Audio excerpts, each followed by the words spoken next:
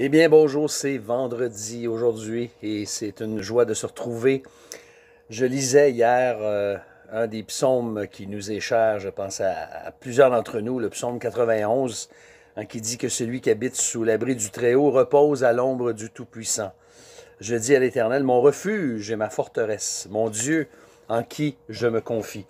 Si vous permettez, ce matin, j'aimerais vous lire ce texte dans le livre des psaumes de David de Clément Marot. Si vous aimez la poésie, vous allez apprécier beaucoup euh, la richesse en français de ce texte, mais aussi comment Clément Marot, il y a 500 ans déjà, a su rendre en français, en vers, euh, la richesse de ce texte. Alors voici comment il a écrit le psaume 91.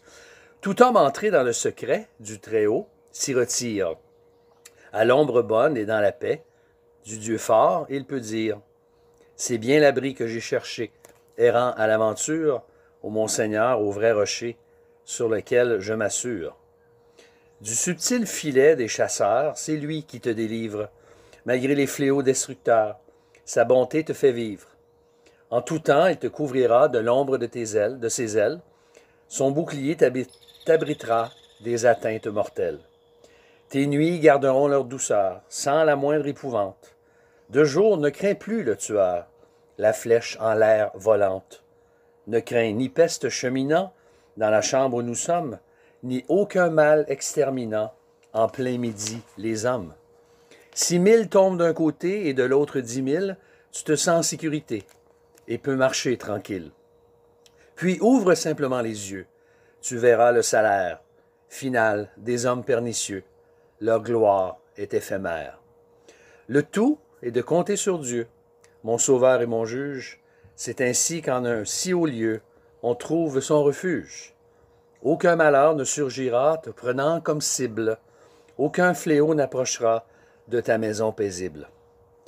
Car il fera commandement à ses anges très dignes de te garder soigneusement pendant que tu chemines.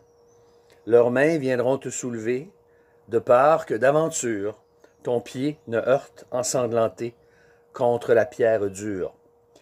Tu piétineras les cobras, les lions pleins de rage. Sur tout, monstre, pardon, tu marcheras sans le moindre dommage. Ton Dieu dit en effet, je vois l'amour dont il m'honore. Je suis son gardien, je me dois à celui qui m'adore. Dernier deux versets. Quand il priera, je répondrai.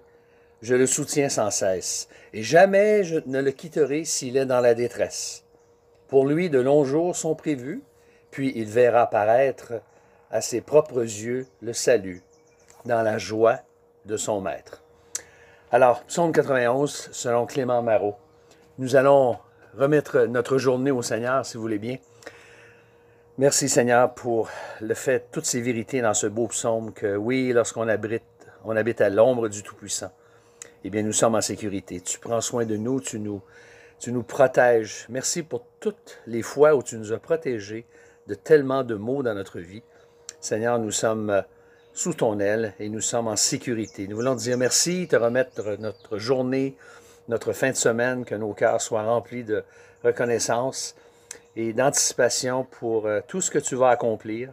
Aujourd'hui, nous te continuons à prier pour ceux qui souffrent, ceux qui vivent de grandes difficultés, pour euh, toute la situation encore au niveau des préjugés, de la race, du racisme dans le monde. Seigneur, nous te prions que tu puisses nous donner cette paix et surtout de, ne pas faire exception de personne autour de nous.